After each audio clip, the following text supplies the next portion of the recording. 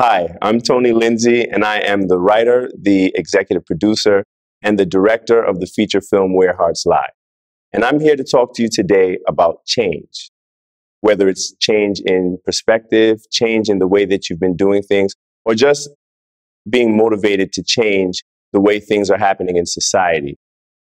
One of the worst things that we can do is get stuck in doing the same old thing, expecting different results. So sometimes we have to just stop and just take a break, take a second, and realize that if we want to achieve the success that we are aiming for, it may require that we decide to do things a little bit different or modify the way that we have been doing things.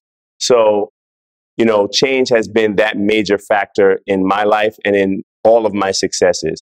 And another key element to the change in my life was witnessing the birth of my children. And that pretty much totally changed the, my entire perspective on life. And, you know, it just brought everything into a new direction.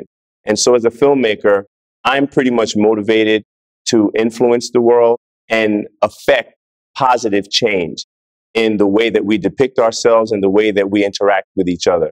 And I think I'm on a pretty good path to making that difference.